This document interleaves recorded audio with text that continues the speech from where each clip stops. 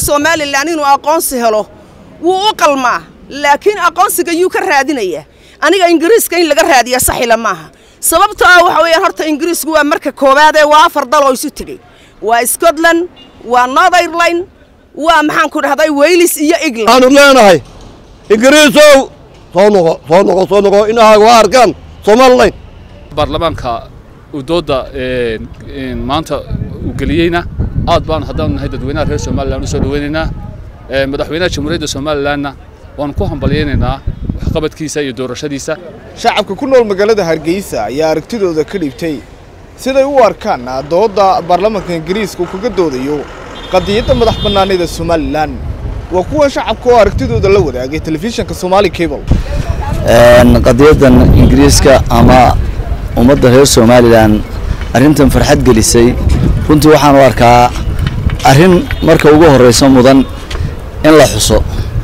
Hase ahaatee qarankan somalilan waxba ugama baahna in la yidhaahdo si wanaagsan baad u socotaan ee ictiraaf buu u baahan yihi marka waxaan leenahay somalilan mar haddaanay ingiriisku ictiraaf u haynin horey noo gumaysteen ee caqligeena naga gumaysanna hanaga hadheen.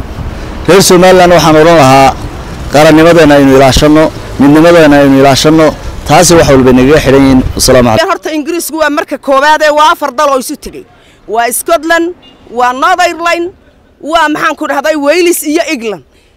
Afartaa dal ee isku tegey waxaa xukunta boqoradda ingiriiska. Waxa kale xukuntaa boqoradda ingiriisku ilaa australia ilaa iyo kanada iyadaa boqoradu ah. Awood way u leedahay inay tidhaahdo somalilan halkay ku dhalatay anaa ogaayo xorriyadda siiyey. Maantana anaa fasaxaya laakiin inay iyagu kala wada tagaan ayay ka baqayaan. Baarlamaanka ka doodaya qudhiisu waxaad ogsoonaataa afartaa dal ee ingiriiska la yidhaahda united kingdom unbay horta baarlamaankaasi ka yimaadeen. Markaa somalilan aqoonsi hadday weydo miyay dhalaalaysaa sida burcadka? Damayana taywanba wataa toddobaatan sannadood iska taagan. Haddii cid laga doodayo oo daacadi jirtana dee taywan baa laga doodi lahaa oo dhowr iyo toddobaatan sannadood bannaan iska taagan. Somalilan hadday nabadgelyadeeda ilaashanayo hadday dowladnimadeeda ilaashanaysa horta iyada u taallaa. Midda kale waxaad ogsoonaataa ingiriisku wuxuu ina haystay boqol iyo konton sannadood. Baabuurteenna dooxyadaa qaadayay wax alla waxay qabteen ma jirto. Meesha la yidhaahdo iskuulka camuud waxay ka ahaayeen macallimiin waad aragteen rag badan baa ka soo baxay. Haddana waxay lahayd laagta qoorgaab oo dadka qaada hal birish buu saari kari waa docad buruq iyo awbarkhadle iyo lafaruugna bahala birishyo oo waxaanu saarannay kuwii jaynuhu u samaynayey eshiya ingiriisku waxaa miyuu inoo dhisay? Dee haddaad adigu dhisatay ood astaantaadii samaysatood calankaagii samaysatood wax walba samaysatay? Horta somalilan ee aqoonsi ingiriiska kaama jiro horta taa la soco. Midhka labaad ayaamahan xiin baa na wareeriyey. Badii saylacba ahaayo maaragtay etoobiya qaadanayso. Ujeeddo xiisad waxaa la abuurayaa dadka awdal iyo salil si ay dowladda somalilan uga hor yimaadaan. War haddii maalgashi lagu heshiiyena waa halkeeda. De haddii kalena etoobiya waa dowlad afrikaana xoog weyn haddii aynu meel siinno iyada keligeed tanay boqolkiiba sagaal iyo tobanka qaadataa dee waxa weeyaan imaaraadkay ku wada jiraan. Laakiin taa sayla haddii keligeed la siiyo inay innaga gebigeennaba gobolkaa inay qabsataa suurtagala. Midda kale halkan waxaan hambalyo oga diraya waxaan ahaa qofkii keli ahaayo qodobkii xeerkii footiin ka warwarsanaa. Markuu maxkamadda ku jiray aadan xaaji cali dhowr goor fariinta u dirtay. Rayiga uu weydiinayo somcable dadweynaha jamhuuriyadda somalilan mawduuca baarlamaanka ingiriisku ee u codaynayo ama uu dooda geliyey qadiyadda somalilan horta haddaan nahay dadweynaha reer somalilan aad baan u soo dhaweynaynaa boqolkiiba boqol. Kuwa iyo kuwo kaloo baarlamaano kaloo hawshaa insha allah bidmillahi karim qaban doonana waa aad baan u rajaynaynaa. Somalilanna kuma xidhna qadiyaddeedu in la yidhaahdo baarlamaan baa ka doodaya. Dadka reer somalilan horey u tashadeen konton sano ama boqol sano haddii ka soo wareegaanna waxay diyaar u yihiin mar walba inay ilaashadaan nabaddooda dowladnimadooda iyo iyo iyo isku dubnaantooda.